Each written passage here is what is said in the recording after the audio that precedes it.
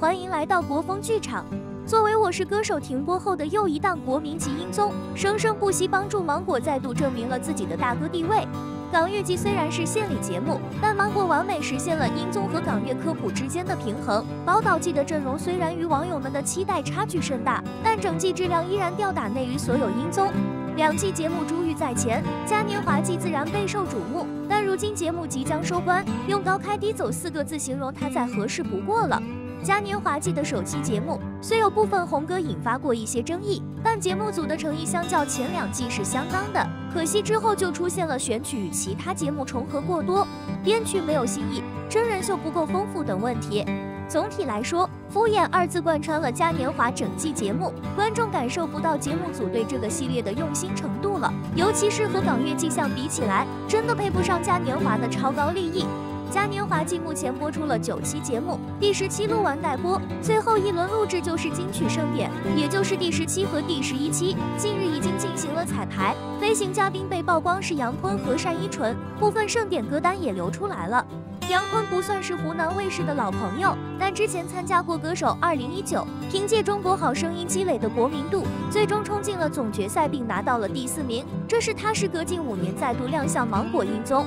单依纯常驻过港乐季，而且吃到了节目的巨大红利，尤其是国民度得到了提升，再次与红校团队合作并不意外。当然了。如果红校还能请到单依纯加盟歌手二零二四的话，就更好了。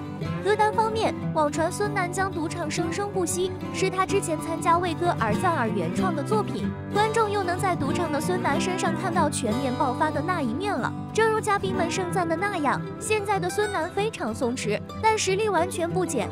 韩红将独唱《KO》，是他在参加爆裂舞台时以 XXXL 身份原创的作品，当时与王嘉尔合作表演。值得一提的是，韩红之前与宋亚轩合唱的《忏悔书》也是在爆裂舞台是原创的作品，能看出来她很喜欢自己以 XXXL 身份写出来的完全不同于以往那类风格的歌曲。宋亚轩将独唱下午五点二十三分，是他个人第一首独唱单曲，曲风轻快，非常适配他身上的少年感。谭维维将独唱《鸿雁》，应该就是大众熟知的那首。原以为谭维维应该唱过好多遍这首歌，但公开资料显示，她只在《跨界歌王》中与多位嘉宾合唱过，而且是清唱。这次的独唱估计又是封神的一版。胡彦斌将独唱《我们还会一起走到那里去吗》，是他自己去年新专辑中的作品。最后的金曲盛典，大家都开始给自己打歌了。合唱歌单部分，汪苏泷将分别与宋亚轩和单依纯合作《晚安》。如果爱忘了，前者暂不知是谁的版本，后者是戚薇歌手时期的经典作品。据说汪苏泷和单依纯彩排了五遍，现场听感非常好。值得一提的是，戚薇非常有可能常驻浪姐舞。她之前因为怀孕和产后恢复，连续错过了两季，今年应该比较稳。戚薇原本就是歌手出道，而且从她帮助李承铉设计两次 P 歌出舞台来看，她对舞台创意也有自己的想法，值得加盟浪姐舞。古巨基和周深将合唱《泪桥》，来自伍佰不算爆红但旋律好听的歌，两位合作者有望拔高这首歌的知名度。胡彦斌和陈楚生将合唱《再回首》，二人之前都唱过这首老歌，而且在前段时间大爆的《繁花》中也是热门插曲。这样一首脍炙人口的老歌，并不好改编以及合唱，就看两位唱作人的功力了。王心凌和郁可唯将合作李宇春的经典《下个路口见》，想象中很适合他俩的华丽声线，但这个版本的重点应该会有简单的舞蹈。一代浪姐和三代浪姐的合作值得期待。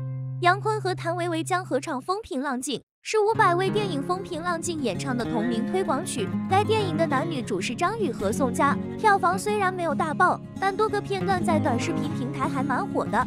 女队全员被曝将合作姊妹，暂不知是谁的版本。